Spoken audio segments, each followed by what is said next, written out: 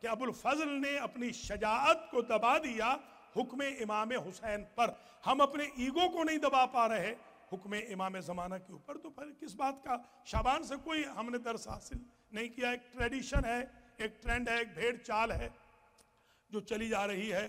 نعوذ باللہ من ذالک۔ اور ہم آئمہ اتحار کے جو دن ہیں، ان کا بھی استفادہ نہیں کر رہے، بلکہ ان کو بھی بدنام کر رہے ہیں دوسرے لفظوں میں۔ امام کے جو دن ہوتے ہیں، ان میں سے تو کردار سازی ہونی چاہیے لوگوں کے۔ عادات و اطوار ٹھیک ہونے چاہیے، ان کو ائمہ اطہار کے فرامین کی روشنی میں نیک بنانا چاہیے۔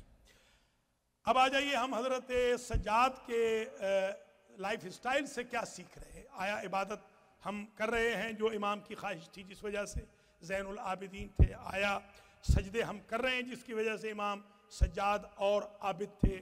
کیا صبر ہم کر رہے ہیں جس وجہ سے امام کو صابر امام کہا گیا، کیا وہ عمل صالح ہم کر رہے ہیں جس کی وجہ سے امام عبد صالح تھے؟ کیا شام غریبہ میں امام زمانہ نے نماز مغرب و عشاء وقت پہ نہیں پڑھی ہے؟ کیا زور و اثر امام نے عاشور کے دن وقت پہ نہیں پڑھی ہے؟ اتنی بڑی مصیبتوں کے باوجود اگر امام نے ہر وقت نماز وقت پہ پڑھی ہے تو ہمیں تو کوئی مصیبت ہی نہیں ہے، ہم جان بوجھ کے نمازوں کو ڈیلے کر رہے ہیں۔ ہم نے اپنے امام سے، چوتھے امام سے رسالت الحقوق کتنے لوگوں نے پڑھا اور اس پر عمل کیا ہے؟ ایک حق ہے اس میں آنکھ کا، ایک حق ہے کان کا، باپ کا، ماں کا، بھائی کا، بہن کا، رشتہ داروں کا، استاد کا، شاگرد کا، کلاس فیلو کا۔ ہم نے کتنے حقوق ہیں؟ پچاس جو حقوق ہیں، ان میں سے کتنے نمبر لے کر ہم پاس ہوئے ہیں؟ کوئی پتہ تو چلے ریتی پاس بھی ہم ہوئے ہیں یا نہیں؟ پچاس میں سے کیا کسی نے دس حقوق بھی ادا کیے؟ کیا ماں باپ کے وہ حقوق ہم ادا کر رہے ہیں جو ان کے مرنے کے بعد بھی ہماری گردن پہ ہوتے ہیں؟ کیا ہم اپنے اہل خانہ کے حقوق ادا کر رہے ہیں؟ کیا ہماری بہنیں بیٹیاں اپنے شوہروں کے حقوق ادا کر رہی ہیں؟ کیا اپنی اولاد کے حقوق وہ ادا کر رہی ہیں جو تربیت کے حقوق ہیں؟ تو یہ دیکھنا ہے کہ امام پاک نے تو کوئی کسر نہیں چھوڑی تربیت میں، ہم اس سے کیا سیکھ رہے ہیں؟ یہ بہت امپورٹنٹ یہ جو آج پیام شابان کا یہ خطبہ ہے اس کو آپ اپنے اذہان عالیہ میں محفوظ فرمائیں۔ اللہ تعالیٰ مجھے بھی اور ہمارے سارے بھائی بہنوں کو وقت پہ آنے کی توفیق دے۔ خاص طور پہ ان جوان بچوں کو بھی اللہ تعالیٰ بوڑھوں کے راستے پہ نہ چلائے جو لیٹ آ رہے ہیں، ورنہ چاہیے تھا ابتدا سے یہ ریکارڈ ہوتا، خطبہ یہ اس قابل تھا کہ پوری دنیا اس خطبے کو دیکھے۔ کیونکہ ہمیں یہ دیکھنا ہے کہ شابان آیا اور گزر گیا، ہم نے کیا حاصل کیا؟ اتنی بڑی ہستیاں آئیں۔ عرش والوں نے آ کر خان نیاز حسین سے شفا پالی اور ہم اندر کی منافقتوں کو ختم نہیں کر سکے، تو پھر ہم نے امام حسین سے کیا سیکھا ہے؟ اس جشن سے ہم نے کیا حاصل کیا ہے؟ اگر ہم نمازی نہیں بن سکے، ہم روزہ دار نہیں بن سکے، ہم قاری قرآن نہیں بن سکے، ہم عبادت نہیں کر سک کر سک رہے یا ہم سجدے نہیں کر پا رہے، تو ہم نے پھر کیا سیکھا ہے؟ یہ دراصل جو میسیج ہے وہ یہ ہے۔ اس کو ذرا توجہ سے سن لیجیے۔ اسی طریقے سے اس میں حضرت قاسم کی ولادت ہے جیسے کل کا دن گزرا ہے۔ حضرت قاسم نے ہم نے کیا سے ہم نے کیا سیکھا ہے؟ حضرت قاسم کی جو وفا ہے اپنے چچا کے ساتھ، یا جس طریقے سے جوان مردی سے یہ تیرہ سال کا بچہ لڑا ہے کہ رکابوں میں سے پاؤں نکل نکل جاتے تھے، مگر بڑھ بڑھ کے حملے کرتے تھے۔ اور میں نے روایتوں میں دیکھا ہے کہ علی اکبر نے اور قاسم نے اس لیے بھی بڑھ بڑھ کے حملے کیے کہ جب حسین ابن علی نکلے تو ان کے سارے حوصلے پست ہو چکے ہوں۔ امام کا کتنا خیال تھا ان کو، اپنے چچا کا، اپنے بابا کا، قاسم و اکبر کو کتنا خیال تھا۔ ہم ان دنوں سے کیا سیکھ رہے ہیں؟ حضرت علی اکبر علیہ السلام سے ہم کیا سیکھ رہے ہیں؟ کس طریقے سے اس شہزادے نے ایسار پیش کیا، قربانی پیش کی ہے؟ کس طریقے سے وہ شہزادہ لڑا ہے؟ سب سے زیادہ جس شہزادے نے حملے کیے ہیں، وہ علی اکبر ہے، آل محمد میں سے، بنی ہاشم میں سے۔ اور اس کی وجہ بھی بیان کرتے ہیں کہ حضرت علی اکبر بار بار یہ کہتے تھے کہ میں تمہاری ہمتوں کو ختم کرنا چاہتا ہوں تاکہ میرے بابا کو جہاد میں تکلیف نہ ہو۔ اب ذرا غور فرمائیں، اس تربیت سے ہمارے جوان کتنا حاصل کر رہے ہیں؟ عمل کتنا حاصل کر رہے ہیں؟ کتنے لوگ ہیں جو اپنے باپ کے لیے راحت کا سبب بننے کے لیے قربانی دیں کہ میرے باپ کو تکلیف نہ ہو یا میری ماں کو تکلیف نہ ہو؟ پیرنٹس کا کتنا خیال علی اکبر علیہ السلام کی سیرت سے۔ لہلت البرات آ رہی ہے، ہر سال آتی ہے، آ کے گزر جاتی ہے۔ آیا ہم نے برات من النار کا سرٹیفکیٹ لے لیا ہے؟ آیا ہم شب برات کے اندر جاگ کر نمازیں پڑھ کے اگلے دن کا روزہ رکھ کے اللہ سے اپنے لیے جہنم حرام کرا چکے ہیں؟ تو ان ساری تاریخوں کا ایک ایجنڈا ہے۔ بھیڑ چال کے طور پر منانے کا کوئی حکم نہیں ہے۔ اس میں تو ڈیلی بیسس پہ سیکھنا ہے، ڈیلی۔ ہمارے امام فرماتے ہیں، جس کے دو دن برابر ہیں، ان کو کہہ دو وہ ہمارا شیعہ نہیں ہے۔ ہمارا شیعہ کبھی دو دن برابر نہیں رکھتا۔ ہمارے شیعہ کہ ہر روز نیکیاں بڑھتی رہتی ہیں، برائیاں ختم ہوتی رہتی ہیں۔ اگر ہم وہیں کھڑے ہوئے ہیں، ہم نے شابان سے کچھ نہیں سیکھا ہے، رمضان بھی آ جائے، دس آ جائے، بیس آ جائے، کچھ سیکھیں گے نہیں۔ یہ شابان در اصل ٹریننگ کا مہینہ ہے، آمادہ ہونے کا مہینہ ہے رمضان کے لیے۔ اسی لیے حکم ہے کہ اس میں ذرا ریہرسل کر لیں پریکٹس کر لیں، نمازیں پڑھنے کی بھی، روزے رکھنے کی بھی۔ کچھ لوگ ایسے ہیں میرے احباب جو کہتے ہیں جی ہم بیمار ہیں، تو ٹھیک ہے، اگر آپ بیمار ہیں تو کم از کم درود پڑھ لیں، کم از کم آپ قرآن پڑھ لیں شابان کے اندر دو تین ختم قرآن کر لیں، روزہ نہیں آپ رکھ سکتے، ڈاکٹر نے منع کیا ہے، تو کم از کم نمازیں تو پڑھ سکتے ہیں، اٹھ کے نہیں پڑھ سکتے، بیٹھ کے تو پڑھ سکتے ہیں نمازیں، سنتی نمازیں، تو ویسے بیٹھ کے بھی پڑھی جا سکتی ہیں، سنتی کھڑے ہو کے پڑھیں یا بیٹھ کے، اس میں آپ کو آپشن ہے۔ تو یہ چیزیں جو آج میں عرض کر رہا ہوں کہ شعبان سے ہم نے کیا سیکھا ہے، شعبان در اصل ہمیں سکھانے کے لیے آئے یہ ہستیاں ہمیں سکھانے کے لیے۔ امام زمانہ کی ولادت یہاں آ رہی ہے۔ امام زمانہ علیہ السلام سے ہم نے کیا سیکھا ہے؟ زمانے کے امام ہیں، وقت کے امام ہیں اور ہم بالکل وقت کے پابند نہیں ہیں۔ کب آخر ہم سیکھیں گے؟ امام علیہ السلام کی گاڑی چلی جائے گی اور ہم اسٹیشن پہ منہ تکتے رہ جائیں گے۔ امام تو ٹائم پہ آئیں گے، ٹائم پہ چلے جائیں گے۔ یہ ذہن میں رکھ لیجیے۔ اگر ہم اللہ کی نماز میں ٹائم پہ نہیں آ رہے، ان کے فرامین کو فالو کرتے ہوئے اہل بیت کے پروگرام میں ٹائم پہ نہیں آ رہے، تو پھر ہم نے ٹائم کے امام سے کچھ نہیں سیکھا ہے۔ ایک چینج کرنی چاہیے، تبدیلی کرنی چاہیے۔ بندے کو چاہیے کہ وہ ایک دم اپنے آپ کو چینج کر دے، تبدیل کر دے۔ اور ہر روز نہیں، تو کم از کم جمعہ کے دن تو یہ عہد کر کے جائے کہ یا اللہ، آج تک جو پرابلم میں سن رہا ہوں، میرے اندر جو بھی خامی تھی، آج کے بعد میں اس کو دور کر دوں گا۔ ابھی یہ سورہ حجرات کی میں نے تفسیر بیان کی تھی۔ بحمدللہ سب سے کم مجمع اس میں تھا۔ دن بدن مجمع جو درس قرآن کا ہے وہ گھٹتا جا رہا ہے۔ اس لیے کہ کئی طاقتیں لگی ہوئی ہیں درس قرآن کے خلاف۔ میں بھی بچہ تو نہیں ہوں، میں بھی سمجھتا ہوں۔ الحمدللہ اللہ تعالیٰ ان طاقتوں کو کمزور کرے اور اللہ تعالیٰ میرے بہن بھائیوں کو درس پڑھنے کی توفیق دے۔ اگر وہ ایک درس سن لیں کوئی میرے بھائی بڑے بڑے چھوٹے سب بہنیں بیٹیاں خدا کی قسم زندگی میں گناہ کرنے کا سوچے بھی نہیں، صرف ایک جو سورہ حجرات کا درس میں نے پچاس منٹ کا دیا ہے، سورہ حجرات بھری ہوئی ہے اخلاقیات سے۔ غیبت کے خلاف سورہ حجرات میں کہا گیا، تہمت کے خلاف سورہ حجرات میں کہا گیا، نمامی کے خلاف سورہ حجرات میں کہا گیا۔ نک نیم سے پکارنے کے خلاف سورہ حجرات میں درس دیا گیا۔ ایک دوسرے کو نیچا دکھانے کے خلاف سورہ حجرات میں درس دیا گیا۔ سورہ حجرات اخلاقیات کا مجموعہ ہے۔ مجھے یاد ہے اچھی طریقے سے ایک صاحب تھے، پچپن سال ان کی عمر تھی۔ اس وقت میں تھا تقریباً تیئیس سال کا۔ میں قم میں پڑھاتا تھا اس زمانے میں۔ تیئیس سال کا تھا اور وہ پچپن پلس کے تھے، چھپن کے رہے ہوں گے، ساڑھے پچپن کے۔ ایک بوڑھا سا آدمی داڑھی اس نے رکھی ہوئی تھی اور وہ میرے درس میں آ کے بیٹھ گیا۔ کوئی معصوم قم میں درس ہوتا تھا۔ درس کے بعد مجھے ملا اور مجھ سے کہنے لگا کہ میں نے استاد سخاوت حسین کو ملنا۔ تو میں نے بھی ذرا تفریح لی۔ میں نے کہا بھائی کیا کچھ پیسہ لائے ہو؟ کیا کام ہے؟ تو کہنے کیا وہ پیسہ لیتے ہیں؟ میں نے کہا بھائی آپ آئے کس کے لیے؟ پتہ تو چلے ان کو کیا دینے آئے ہیں، کچھ پیسہ لائے ہیں۔ کیونکہ علماء کو جب ملنے آتے ہیں تو پیسہ ہی لاتے ہیں، پیسے کے بغیر تو کوئی نہیں آتا۔ ایران میں تو یہی طریقہ ہے، جو بھی عالم کو ملنے کے لیے آتا ہے، وہ پیسے لاتا ہے۔ الحمدللہ رب العالمین، تھوڑا بہت ضرور دے کے جاتا خیر، وہ کہنے لگے، نہیں ذرا ان سے ملوائیں، بہت ضروری کام ہے ان سے۔ میں نے کہا پہلے بات بتاؤ گے، پھر ملوائیں گے۔ بتاؤ کہ آئے کیوں؟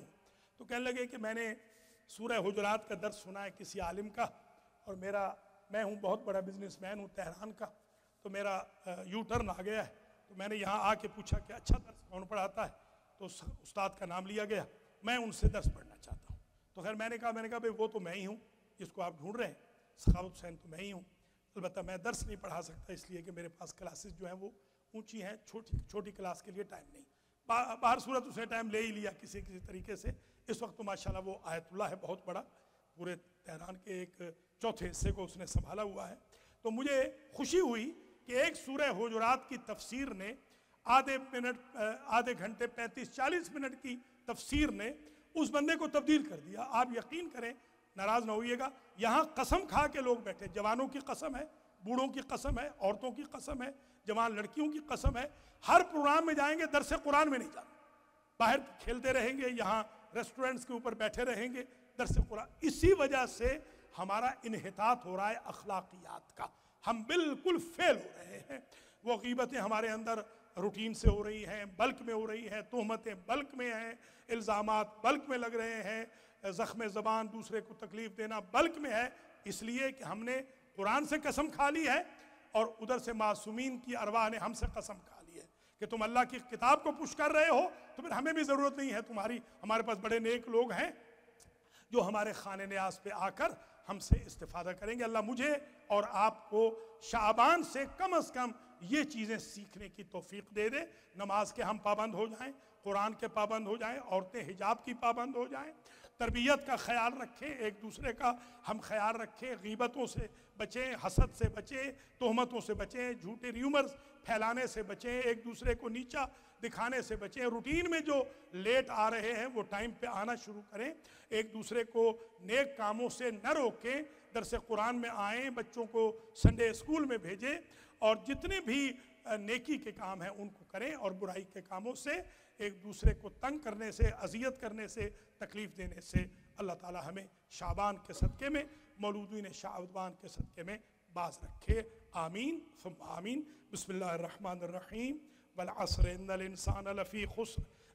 إلا الذين آمنوا وعملوا الصالحات وتواصوا بالحق وتواصوا بالصبر.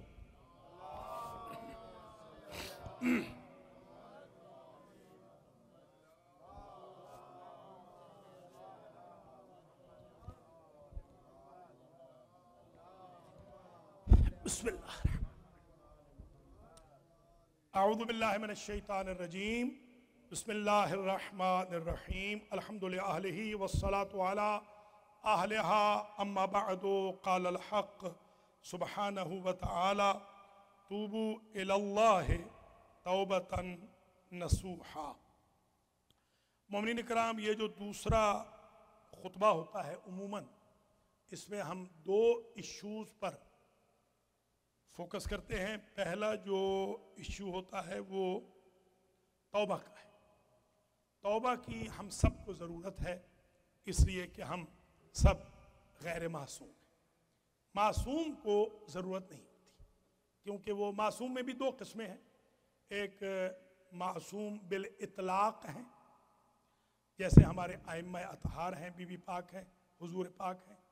ایک علل اطلاق نہیں بلکہ مقید ہیں، مشروط ہیں، جن میں ترک اولا کا گزر ہوتا ہے، جیسے سابقہ انبیاء۔ سابقہ انبیاء جو ہیں وہ معصوم ہیں، مگر مشروط ہیں۔ مشروط یہ علل اطلاق نہیں ہے کہ ان سے ترک اولا ہو سکتا ہے۔ یہ چودہ ہستیاں وہ ہیں جن سے ترک اولا نہیں ہو سکتا۔ گویا توبہ کی ضرورت انبیاء کو بھی ہے۔ صرف یہ چودہ ہیں جن کو توبہ کی ضرورت نہیں ہے، اس لیے کہ ان سے ترک اولا بھی نہیں ہوتا۔ اگر انبیاء کو توبہ کی ضرورت نہ ہوتی تو پھر توبہ آدم کا تذکرہ قرآن مجید میں موجود نہ ہوتا۔ ربنا ظلمنا انفسنا، حضرت یونس کا، لا الہ الا انت سبحانہ کا حضرت ایوب، حضرت موسیٰ، حضرت عیسیٰ، ترک اولا تو سب سے ہوتا رہا۔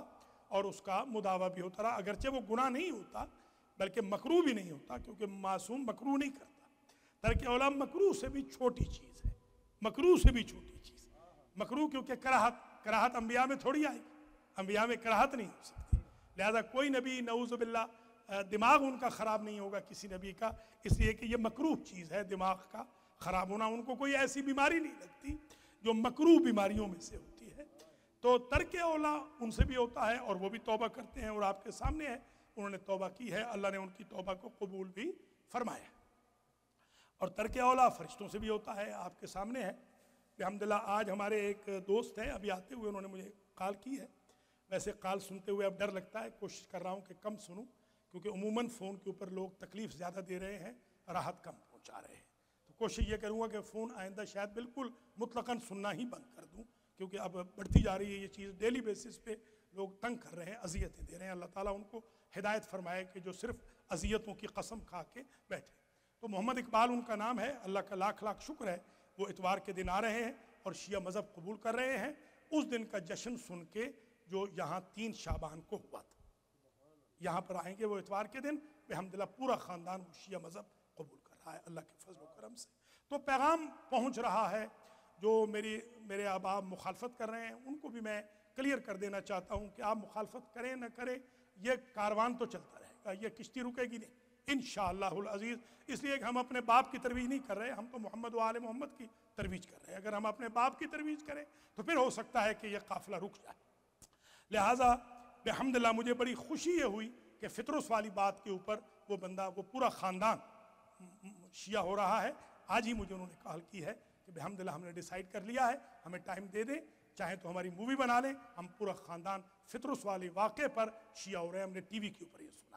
اللہ کا لاکھ لاکھ شکر ہے، اللہ تعالیٰ توفیق دے مجھے کہ میں اس ٹی وی کو بھی چلا سکوں اور جو المہدی فاؤنڈیشن کے پروجیکٹس ہیں، ان کو بھی میں چلا سکوں۔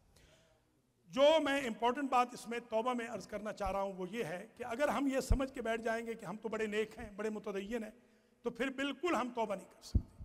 ہمیں کہنا ہے ہم گناہ گار ہیں۔ اگر یونس کہہ رہے ہیں کہ میں ظالم ہوں، ظالموں میں سے ہوں، اللہ اکبر۔ تو میری آپ کی تو کوئی حیثیت ہی نہیں۔ انی کنتو منت ظالمین نبی کہہ رہا ہے، معصوم نبی کہہ رہا ہے کہ میں ظالموں میں سے ہوں، ضرور۔ ظالم سے مراد چور اچکا نہیں ہے، ڈاکو نہیں ہے، نعوذ باللہ۔ ظالمین سے مراد یہ کہ میں وہ حق ادا نہیں کر پایا کہ جو حق اللہ کا تھا۔ تو جب یونس حق نہیں ادا کر پائے تو میں اور آپ کس باغ کی مولی یہ اوور کانفیڈنس آج کل جرتیں بڑی بڑھ رہی ہیں۔ انٹرنیٹ بھرا پڑا ہے، نعوذ باللہ من ذالک۔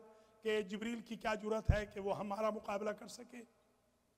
منکر و نکیر کیا شے ہیں؟ ہم تو انہیں ایک ہاتھ کی وہ ضرب سے اڑا دیں گے، فلاں کر دیں گے۔ خدا کا خوف کرو بھائی، اس طرح نہ محمد و آل محمد کے مذہب کو بدنام کرو۔ جب تلقین میں پڑھتے ہو کہ انہ منکر و نکیر حق، کہ منکر و نکیر حق ہے، تو کیا حق کے خلاف بات کر رہے ہو؟ علی و مال حق والحق ما علی علی حق کے ساتھ ہے، حق علی کے ساتھ ہے۔ علی کا دامن ہاتھ سے چلا جائے گا اگر اللہ کے سسٹم سے ٹکرانے کی کوشش کی۔ لہذا یہ جو ایک غلط فہمی اوور کانفیڈنس ہو جاتا ہے کہ ہم تو بڑے نیک ہیں، ہم نے تو یہ کر لیا، وہ کر لیا پلیز اس کو ختم کر دیجیے ہمبل ہو جائیے متوازے ہو جائیے، اللہ سے ڈریے۔ میں نے مراجے کو دیکھا۔ ہے واللہ بخدا مراجے کرام کو میں نے دیکھا ہے۔ مجبوریوں سے میں نام نہیں لیتا ہوں کہ یہاں کے لوگ پیچھے نہ پڑ جائیں، کسی کا نام لے لوں۔ میں نے ان مراجے کو دیکھا ہے جنہوں نے پوری پوری دنیا ہلائی ہے۔ وہ چھوٹے چھوٹے طالب علموں کی جوتیاں سیدھی کرتے ہیں۔ فرماتے ہیں یہ پردیسی ہے۔ اس کا جوتا سیدھا کرنا شاید مجھے بخشوا دے۔ اور ہم یہاں پر ہیں کہ علماء کو جوتیاں مارنے کے لیے تیار بیٹھے ہر بندہ بھرا پڑا ہے عالم کے خلاف۔ نہ بات کرنے کا طریقہ ہے، نہ بات کرنے کی تمیز ہے۔ نہ یہ معلوم ہے کہ ایک عالم دین سے بات کیسے کی جاتی ہے، ایک عالم سے کیسے گفتگو کی۔ ہر بندہ تپا بیٹھا ہے یہاں پر۔ جو کال آ رہی ہے وہ انسلٹنگ کال آ رہی ہے۔ مہربانی کر کے اپنے آپ کو ذرا چینج کریں۔ المہدی فاؤنڈیشن کا یہ نعرہ ہے، دینداری کا نعرہ ہے۔ یہ تحریک دینداری ہے۔ جو لوگ ابھی تک بھی نہیں سمجھے، میں ان کو گزارش کروں گا ہمبلی وہ درس میں آنا شروع کریں۔ شاید درس میں نہ آنے کی وجہ سے ان کو ابھی تک پتہ نہیں چل رہا کہ اصل دین کیا ہے، اصل دیانت کیا ہے، اصل ریلیجس ایکٹیویٹیز کیا ہیں، اصل اخلاقیات کیا ہیں، اصل میں محمد و آل محمد کیا چاہتے ہیں۔ ہمیں تو وہ فکر پیدا کرنی چاہیے جو علی ابن یقین کی تھی۔ جس نے کہا تھا جمال کو ابراہیم کو کہ تم پاؤں مٹی میں بھرو اور وہ مٹی میں بھرا ہوا پاؤں میرے رخسار پہ رکھو تاکہ میں امام موسیٰ کاظم کو بتاؤں کہ آپ کا غلام راضی ہو گیا ہے آپ بھی راضی ہو جائیں۔ ہمیں تو یہ فکر رکھنی چاہیے۔ ہم پتہ نہیں کس رعونت میں آ گئے ہیں۔ فرونیت میں ہمارے اندر فرونیت گھسائی ہے۔ ایک دوسرے کو نیچا دکھانا، لڑائیاں، جھگڑے آنکھوں سے، کانوں سے، اشاروں سے۔ برائیاں یہ چیزیں آل محمد کے ماننے والوں میں نہیں ہوتی ہیں۔ جمعہ در اصل انقلاب کا دن ہے۔ جمعہ توبہ کی قبولیت کا دن ہے۔ جمعہ استجابت دعا کا دن ہے۔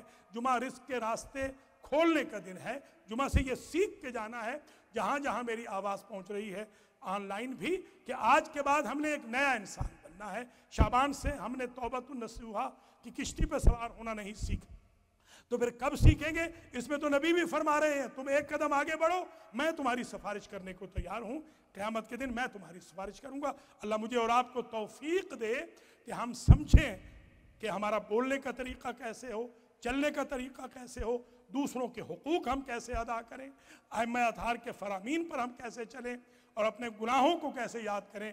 اور دوسروں کی نیکیوں کو کیسے یاد کریں؟ آخری بات جو ہوتی ہے، ہماری وہ کرنٹ ایشوز ہوتے ہیں، اور آج اتنا زیادہ وقت نہیں ہے کہ میں بہت ڈیٹیل میں جاؤں، مگر اتنا میں ضرور عرض کروں گا کہ کرنٹ ایشوز میں میں اپنے سنٹر کے بابت آپ تمام حضرات و خواتین سے گزارش کروں گا کہ آپ اس میں تعاون فرمائیے۔ اس وقت ہم بہت برے حالات سے گزر رہے ہیں، بہت ڈیفیسٹ میں جا رہے ہیں۔ ہمارے بلز جو ہیں وہ اوور ڈیو ہوئے پڑے ہیں۔ از حد ہم پریشان ہیں اس وقت۔ اگر آپ حضرات و خواتین مہربانی کریں، جو آن لائن بھی سن رہے ہیں کہ سو سو پچاس پچاس تیس تیس، بالکل آنیسٹلی آنیسٹی کے ساتھ اگر دینا آپ شروع کر دیں، اپنے سنٹر کو ایک بل سمجھ لیں۔ امام زمانہ علیہ السلام کے سنٹر کو ایک اپنا بل سمجھ لیں۔ تو انشاءاللہ ہم اس مشکل دور سے بھی نکل آئیں گے، مجھے امید ہے۔ پہلے بھی آپ نے کبھی ڈس اپوائنٹ نہیں کیا۔ ابھی بھی آپ بالکل ڈس اپوائنٹ نہیں کریں گے۔ کچھ ہمیں والنٹیئرس کی بھی ضرورت ہے۔ میں پہلے بھی عرض کیا تھا ایک بندے نے صرف نام لکھوایا ہے اور وہ بھی شو اپ نہیں ہوا۔ میں جوانوں سے کہوں گا کہ آپ پلیز ذرا آگے آ جائیں۔ آپ کی بڑی مہربانی ہوگی۔ جیسے مجلس جشن کوئی سیشن ختم ہوتا ہے، ہاتھ میں آپ ویکیوم پکڑ لیں۔ آپ کو اللہ نے انرجی دی ہے۔ ہم بھی بچے تھے تو یہی کرتے تھے۔ اور بحمد اللہ ہم تو ابھی تک بھی یہ کر رہے ہیں، اللہ کا لاکھ لاکھ شکر ہے۔ تھوڑا سا صفائی کر دیا کریں، تھوڑا سا گاربی وغیرہ اکٹھا کر لیا کریں، کیونکہ دو دو، تین تین دن یہاں پر اسمیل پھیل جاتی ہے، چیونٹیاں پیدا ہو جاتی ہیں، کیڑے پیدا ہو جاتے ہیں۔ اللہ کے گھر کو صاف رکھنے میں آپ حضرات و خواتین میں سے جوانوں سے خاص طور پر میں گزارش کروں گا کہ پلیز آپ آ جائیں، دو چار جوان نام لکھوا دیں۔ جب ہی پروگرام ختم ہو، فوراً اس کو کلین کر دیا کریں۔ انشاءاللہ اللہ تعالیٰ آپ کی ساری زندگی کو کلین کر دے گا۔ جو لوگ پیسہ نہیں دے سکتے، وہ وقت دے دیں۔ جو وقت نہیں دے سکتے، وہ پیسہ دے دیں، انرجی دے دیں۔ اللہ کریم آپ تمام حضرات و خواتین کو بشمول ہمارے انتظامیہ کے ممبران کو جزائے خیر مرمت فرمائے۔ کوئی شکوہ نہیں، سب نے اچھا تعاون کیا ہے۔ آئندہ بھی امیدیں کریں گے انشاءاللہ۔ مجبوریاں بھی ہیں، ظاہر ہے والنٹیئر جاب ہے، کوئی ہم پے تو کسی کو کر نہیں رہے ہیں۔ تو خاص طور پہ میں گزارش کروں گا، اس شابان میں ہم تھوڑے سے تیار ہو جائیں کہ رمضان المبارک میں تاکہ جب رمضان کا چاند ہو طلوع، تو کم از کم ہم اچھے انداز میں اخلاقیات میں بھی بہتر ہو چکے ہوں، صفائی وغیرہ میں بھی بہتر ہو چکے ہوں۔ انشاءاللہ دیکھیں گے، اللہ ظاہر تو یہ لگ رہا ہے کہ اس رمضان میں آپ کی خدمت میں حاضری شاید نہ ہو پائے۔ ظاہراً تو حالات ایسے بتا رہے ہیں، تو دعا کروں گا کہ اللہ تعالیٰ اسباب فراہم کر دے۔ میں یہاں رک سکوں، اگر نہ بھی رکا تو بہرحال میری دعائیں آپ کے ساتھ ہیں۔ آپ اپنی دعاؤں میں مجھے یاد رکھیے گا۔ اللہ تعالیٰ آپ تمام حضرات و خواتین کے مرحومین کی مغفرت فرمائے۔ آپ کو رزق و مال میں بہت اضافہ آپ کے رزق و مال میں ہو۔ آپ کو صحت و تندرستی سے رکھے اور آل محمد کے راستے پر مجھے اور آپ کو چلنے کی توفیق خیر مرحمت فرمائے۔ السلام والسلام علی رسول الکریم سیدنا و مولانا ابو القاسم محمد وعلى امام المسلمين وقائد الغر المحجلين علي بن ابي طالب۔ وعلى فاطمة بنت محمد سيدة نساء العالمين والحسن والحسين سيد الشباب أهل الجنة وعلي بن الحسين ومحمد بن علي وجعفر بن محمد وموسى بن جعفر وعلي بن موسى محمد بن علي وعلي بن محمد والحسن بن علي والخلف الحجة القائم المهدي. اللهم عجل لنا فرجه وسهل لنا مخرجه واكحل ناظرنا بنظرة منا إليه. واجعلنا من المستشهدين بين يديه. ان الله يأمر بالعدل والإحسان وإيتاء ذي القربى وينهى عن الفحشاء والمنكر والبغي يعظكم لعلكم تذكرون.